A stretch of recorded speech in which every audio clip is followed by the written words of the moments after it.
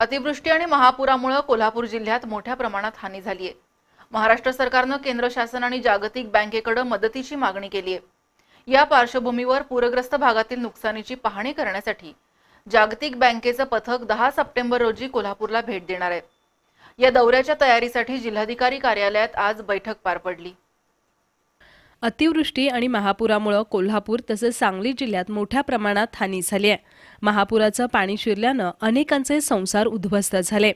अनेक घरांची पडझड झाली. घरातील प्रापंचिक साहित्य जनावरं आणि शेतीचं मोठं नुकसान झालं. पूरग्रस्त नागरिकांना मदत करण्यासाठी महाराष्ट्र सरकारनं केंद्र शासन आणि जागतिक बँकेकडे मदत मागितली आहे. केंद्रीय पथकानं पूरग्रस्त भागातील नुकसानीची पाहणी करून केंद्र सरकारला अहवाल सादर केलाय. पूरग्रस्त भागातील नुकसानीची पाहणी करण्यासाठी आता जागतिक बँकेचं सात सदस्यीय पथक दहा सप्टेंबर रोजी कोल्हापूरला भेट देणार आहे. त्यांच्यासोबत मुंबई महापालिका आयुक्त प्रवीण परदेशी सुद्धा येणार आहेत. या दौऱ्याच्या तयारीसाठी जिल्हाधिकारी दौलत देसाई यांच्या उपस्थितीत सर्व विभाग प्रमुखांची बैठक पार पडली. सार्वजनिक बांधकाम कृषी महावितरण पाटबंधारे विभाग आणि महापालिकेचे अधिकारी या बैठकीला उपस्थित होते.